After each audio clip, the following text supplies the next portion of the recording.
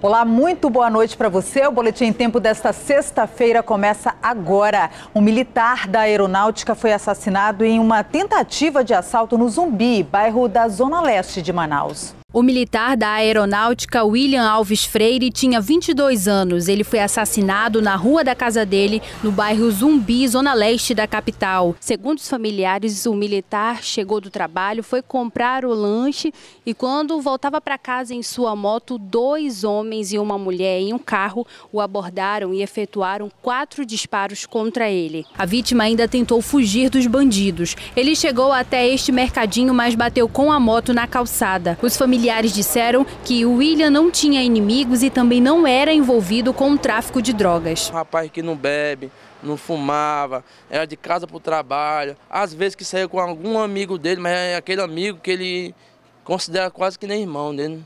Os amigos dele eram contados. Né? A polícia investiga o caso. E um homem foi morto a tiros em um bar na zona norte da capital. Ele estava ameaçado de morte. O homem, identificado apenas como Batata, foi atingido por três disparos de arma de fogo na noite desta quinta-feira. A vítima estava sentada em frente ao bar. Dois homens chegaram em uma moto, um deles desceu e efetuou três disparos contra a vítima, que ainda chegou a ser socorrida por moradores e foi levada ao 28 de agosto, mas não resistiu. A dupla fugiu sem ser identificada. Segundo os moradores, a vítima estava marcada para morrer. O velório foi na manhã de hoje, próximo ao local do crime. A família não quis gravar entrevista. A delegacia especializada em homicídios e sequestros investiga o caso. O preço do litro da gasolina voltou a subir e agora está acima dos R$ reais, mas não foi reajuste, segundo os donos de postos. Fila de caminhões em frente às distribuidoras. São pelo menos quatro nessa área da estrada do Marapatá, no Distrito Industrial. As distribuidoras ficam no entorno da refinaria de Manaus, a única na região norte que processou ano passado pouco mais de 30 mil barris de petróleo. Aqui o movimento é grande o tempo todo. Os caminhões abastecem o combustível que é vendido para os postos.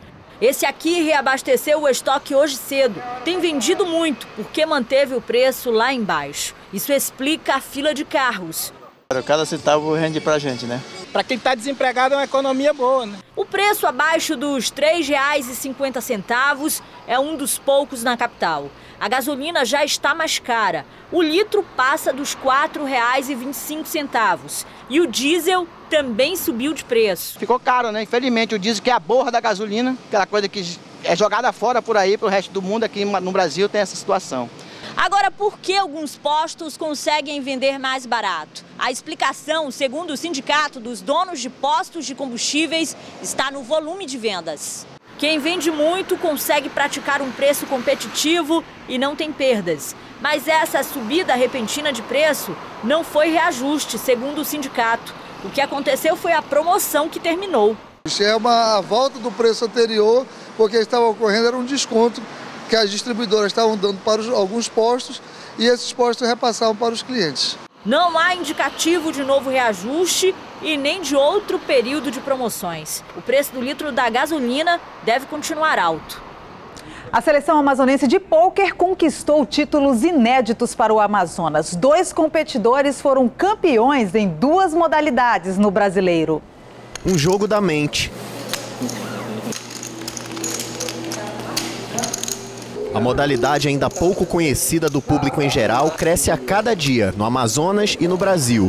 Tem crescido bastante, é, tanto é a prova que está crescendo, a procura, os jogadores estão cada vez mais é, estudando para que possam fazer um bom jogo. É que nós temos hoje um campeão, hoje nós temos é, vários jogadores que, quando vão fora do Brasil, ou mesmo no Campeonato Brasileiro se sai muito bem. Pois é, não é à toa que a seleção amazonense conquistou dois títulos no Brazilian Series of Poker, equivalente ao Campeonato Brasileiro da modalidade. Ângelo Neto joga mais de 12 anos e ficou em primeiro lugar na categoria Texas Hold'em, uma das mais conhecidas. Mas antes, vamos entender exatamente como funciona? É da seguinte maneira, você paga um determinado bainho, um determinado valor, e você recebe um determinado valor em fichas. Ganha quem ficar com todas as fichas. E como é que é dividido o prêmio?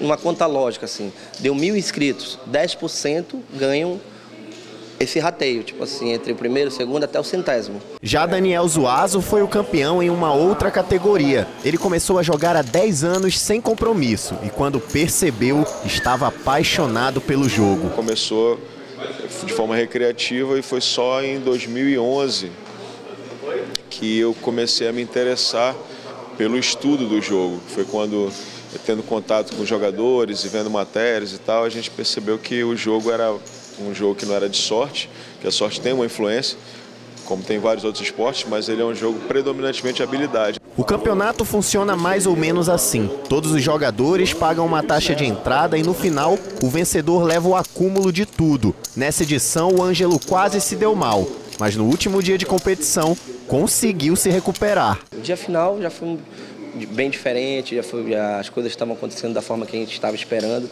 e a gente sabia que se chegasse no mano a mano ia ser bem difícil de a gente perder, assim, porque é a modalidade que, a gente, que eu gosto mais de jogar, que é o heads up, é eu contra você. Então eu sabia que eu tinha uma experiência grande nesse sentido. O próximo passo é no torneio mundial, no dia 23 de agosto. Mora em Manaus tem sofrido com o calor e as altas temperaturas devem continuar até outubro. Água, sorvetes, vale tudo isso para tentar diminuir o calor. A quentura está horrível tá chegando os 40 graus, só pode ser, porque desse jeito tá não tem quem aguente. Mas quem vem de outras cidades com um clima frio até gosta do calorão. Eu não sou daqui, né? Vou comprar uma água agora, é, mas é, como estava muito frio onde, onde eu vim, eu estou gostando muito.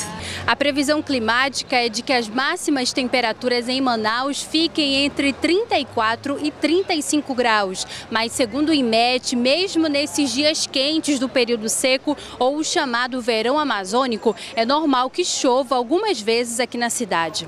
Este ano nós não estamos sob nenhum efeito né, climático né, de grande escala, que a gente diga. Então, é, a previsão aí indica é, temperaturas altas, que é normal para essa época do ano, né? e chuvas dentro da normalidade também. Mas essas chuvas são raras e é o calor que prevalece em algumas regiões do Amazonas. Já em outras, como no sul, a semana teve até temporais e choveu granizo em Santo Antônio do Matupi. Apesar disso, é o verão amazônico que deve predominar na maior parte do estado. Eu sou Mariana Rocha e esse foi o Boletim Tempo Outras Notícias. Você acompanha a qualquer momento na nossa programação.